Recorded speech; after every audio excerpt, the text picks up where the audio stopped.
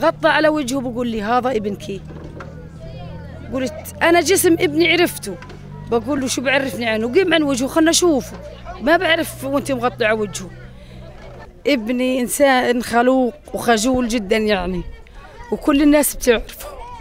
يعني ما كان مبين عليه إشي من مرة. ما حكى لي. المغرب بقول لي يما قايمين الساعة 6 الصبح بدي أروح أخذ لي شوط رياضة. يعني عادي بضل يلعب هنا رياضة وإشي فكرته يعني إنه بده يلعب رياضة زي ما قال لي.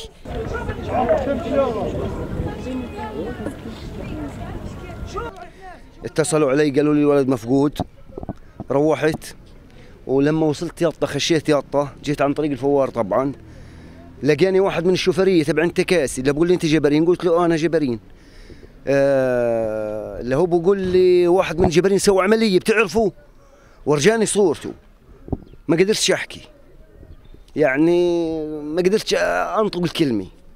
شفت الولد؟ وروحت على الدار لقيت الناس مجموعة في الدار وكل شيء يعني صاير. ولا بين ابني إشي. ابني كان ولد يعني مطيع. يعني في حياته ما زعل بني آدم. في حياته ما قال لي لا.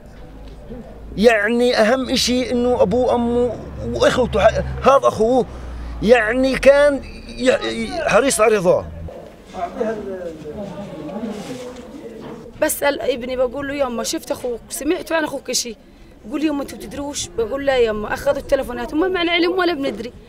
اللي هو بقول يما خليل طعن جندي. هيوه في المستشفى وبصحة جيدة كويس بقول له يما ماتوا. قال لا يما والله بصحة جيدة ما مات ولا إشي.